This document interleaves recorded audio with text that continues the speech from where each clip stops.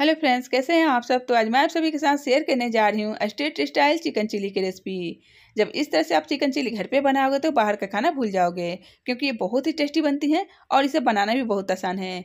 तो वीडियो को लास्ट तक वॉच कीजिएगा। अगर आज की रेसिपी आपको पसंद है तो वीडियो को लाइक, शेयर ज़रूर से कर दीजिएगा। तो चलिए इसे बनाना शुरू करते हैं। तो चिकन चिली बनाने के लिए हम यहाँ पर पाँच सौ ग्राम बोनलेस चिकन ले लिए हैं और इसका मैंने इस तरह से छोटे छोटे पीसेस कट कर लिया है।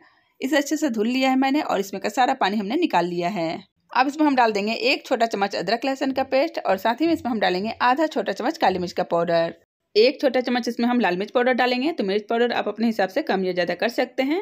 एक छोटा चम्मच इसमें हम विनेगर डालेंगे और टेस्ट कॉकरी नमक डाल देंगे। और यहाँ पर मैं एक अंडा ले रही हूँ, इसे हम तोड़ के इसमें डाल देंगे। अब इसमें बैठने के लिए डालेंगे दो चम्मच मैदा और इसे क्रिस्पी बनाने के लिए इसमें हम डाल देंगे तीन चम्मच कॉर्नफ्लोर। आप इसकी जगह अरारोट पाउडर भी डाल सकते हैं। अब इसमें हम थोड़ा सा फ़ूड कलर डालेंगे तो फ़ूड कलर डालना टोटल ऑप्शनल है। आपको पसंद हो तो डालें या फिर इसके बगैर भी आप बना सकते हैं। अब ये सारे चीज़ों को हमें अच्छे से मिक्स कर लेना है। तो ये हाथ से ही अच्छे से मिक्स होगा, इसे हम हाथ से ही अच्छे से मिक्स करेंगे। तो लीजिए इसे अच्छे से मिक्स कर लिया है मैंने, आप देख सकते हैं। अब इसे हम मैरिनेशन के लिए आधे घंटे के लिए फ्रिज में रख देंगे। अगर आपके पास टाइम है तो आप इसे एक घंटे के लिए भी रख सकते हैं। अब नेक्स्ट स्टेप में हम यहाँ पर लेंगे एक बाउल इसमें हम लेंगे चार चम्मच टमाटो केचप साथ ही में लेंगे एक चम्मच ग्रीन चिली सॉस एक चम्मच इसमें हम लेंगे रेड चिली सॉस और दो चम्मच इसमें हम सोया सॉस लेंगे।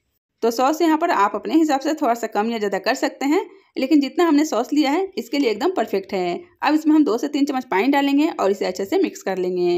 तो ये हमारा चिकन चिली के लिए सॉस बनकर तैयार हो गई है तो अभी इसे हम साइड रखेंगे। अब यहाँ पर हम लेंगे एक दूसरा बाउल, इसमें हम लेंगे एक चम्मच कॉर्नफ्लोर। आप इसकी जगह अरोर पाउडर भी ले सकते हैं। अब इसमें हम आधा कप के जितना पानी डाल देंगे और इसे अच्छे से मिक्स कर लेंगे।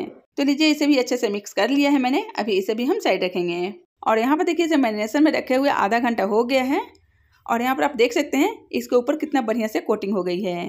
तो अब इसे हम फ्राई करेंगे। तो इसे फ्राई करने के लिए मैंने यहाँ पर तेल को गर्म कर लिया है। ध्यान देना है कि तेल यहाँ पर ज़्यादा गर्म नहीं होना चाहिए, तेल मीडियम गर्म होना चाहिए। अब इसमें ये चिकन के पीसेस डालेंगे। तो एक बार में जितना आएगा, उतना ही हमें इसमें डालना है। और इसे डालने के बाद इसमें बिल्कुल ही चम्मच नहीं लगाना है। जब ये एक साइड से हल्का सा फ्राई हो जाएगा ना, तब इसका हम दूसरा साइड चेंज करेंगे। और इसका साइड चेंज करते हुए इसे हम छः से सात मिनट तक लो टू मीडियम फ्लेम पे फ्राई कर लेंगे, ताकि चिकन अंदर तक अच्छे से कुक हो सके। तो बस इसी बात का ध्यान देना है कि गैस का फ्लेम हमेशा आपको लो टू मीडियम रखना है और लो टू मीडियम फ्लेम पे इसे आपको फ्राई करना है।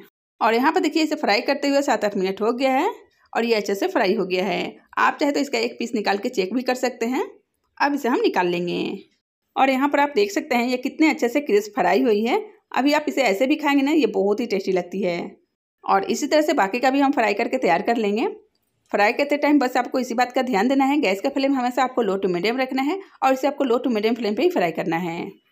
और यहाँ पर देखिए, इसे भी मैंने अच्छे से फ्राई कर लिया है तो अब इसे भी हम निकाल लेंगे और इसी तरह से जो बाकी का बचा हुआ है, उसे भी हम फ्राई कर लेंगे। तो लीजिए हमने सारे चिकन के पीसेस को मैंने इस तरह से फ्राई कर लिया है। मैं आपको पास से दिखाती हूँ। ये बाहर से क्रिस्प है और अंदर से एकदम जूसी है, एकदम सॉफ्ट है। तो बस हमें इसी तरह से चाहिए। तो अब चलते हैं आगे की प्रोसेस की तरफ़। अब यहाँ पर देखिए, जो कढ़ाई में एक्स्ट्रा तेल है, उसे हम निकाल लेंगे और इसमें दो से तीन चम्मच तेल रहने देंगे। अब यहाँ पर देखिए, तेल पहले से ही गर्म था तो इसमें हम डाल देंगे दो छोटा चम्मच बारी कटी लहसुन और साथ ही में डालेंगे एक छोटा चम्मच बारी कटी अदरक। अब इसे हम हल्का सा फ्राई कर लेंगे और साथ ही में दो से तीन हरी मिर्च डाल देंगे, जिसे मैंने इस तरह से स्लाइड में कट कर लिया है। अब ये सारे चीज़ों को हमें तेज आँच पे फ्राई करना है। बस ध्यान देना है कि इसका कलर हमें डार्क नहीं होने देना है। जब इसमें इस तरह से हल्का सा गुलाबी कलर आ जाए, तब इसमें हम डाल देंगे एक प्याज, जिसे इस तरह से कट करने के बाद इसके पंखुड़ियों को मैंने अलग कर लिया है। साथ ही में इस तरह से एक कटी हुई शिमला मिर्च भी डाल देंगे और इसे हम कुछ सेकंड के लिए फ्राई कर लेंगे। ध्यान देना है कि यहाँ पर सब्जियों को हमें पकाना नहीं है। सब्जियों का करंच बने रहे, इसीलिए इसे हम तेज आँच पे कुछ सेकंड के लिए सोटे कर लेंगे। तो लीजिए मैंने यहाँ पर सब्जियों का हल्का सा सोटे कर लिया है। अब इसमें ये तैयार किया हुआ सॉस डाल देंगे। अच्छे से मिक्स कर लेंगे। और यहाँ पर थोड़ा सा कटोरी में सॉस लगी हुई थी तो इसमें मैंने पानी डाल दिया है, इसमें हम डाल देंगे। इसे अच्छे से मिलाने के बाद अब इसमें यह कॉर्नफ्लोर वाला घोल डाल देंगे। तो इसे डालने से पहले ना एक बार चम्मच से हमें मिला लेना है, क्योंकि कॉर्नफ्लोर जो है ना, तले में जाके बैठ जाता है। अब इसे हम थोड़ा सा पका लेंगे तो इसे हमें कंटिन्यू चलाते हुए थोड़ी देर के लिए पका लेना है। ताकि जो कनफ्लोर का कच्चापन है ना, वो खत्म हो जाए। तो बस इसे तेज आँच पर इसे कुछ सेकंड के लिए ही पका लेना है। अब इसमें हम डाल देंगे एक चौथाई छोटी चम्मच काली मिर्च का पाउडर और थोड़ा सा इसमें हम नमक डालेंगे। तो नमक यहाँ पर सिर्फ़ सब्जियों के लिए ही डालेंगे। ध्यान रहे कि सॉस में भी नमक होती है। अच्छे से इसे मिला लेंगे। अब इसमें हम पानी ऐड करेंगे। तो यहाँ पर मैं थ्री फोर्थ का पानी ऐड कर रही हूँ। तो पानी आप यहाँ पर थोड़ा सा कम या ज़्यादा कर सकते हैं, जितना आपको ग्रेवी पसंद है। अब क्योंकि मैं ग्रेवी वाली चिकन चिली बना रही हूँ, इसीलिए मैंने इसमें थोड़ा सा पानी ज़्यादा डाला है। अगर आप ड्राई चिकन चिली बना रहे हैं तो आप इसमें थोड़ा सा पानी कम डालें।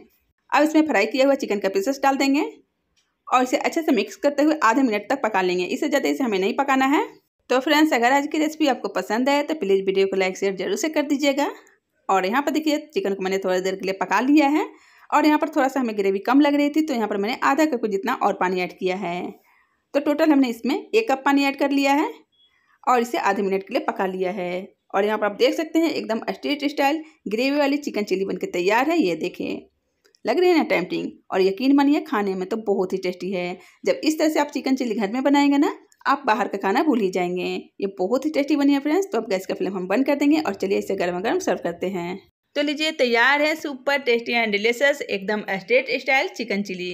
तो इस चिकन चिली की रेसिपी को एक बार मेरे तरीके से ज़रूर बनाए फ्रेंड्स, ये आपको बहुत पसंद आएगी। तो इसे एक बार आप ज़रूर बनाइएगा। तो उम्मीद है कि आज की रेसिपी आपको पसंद आई होगी। रेसिपी पसंद है तो वीडियो को लाइक करें, अपना फैमिली फ्रेंड्स में भी शेयर करें। और अभी तक हमारे चैनल को सब्सक्राइब नहीं किए हैं तो ऐसी नई और आसान सी रेसिपी देखने के लिए मेरे चैनल को ज़रूर से सब्सक्राइब करें। और साथ में जो बेल आइकन है, उसे भी एक बार ऑल पर क्लिक कर दें, ताकि मेरे हर आने वाली नई वीडियो की नोटिफिकेशन आप तक पहुँचते रहे। तो आज के लिए बस इतना ही। मिलते हैं एक और नई रेसिपी के साथ। Thanks for watching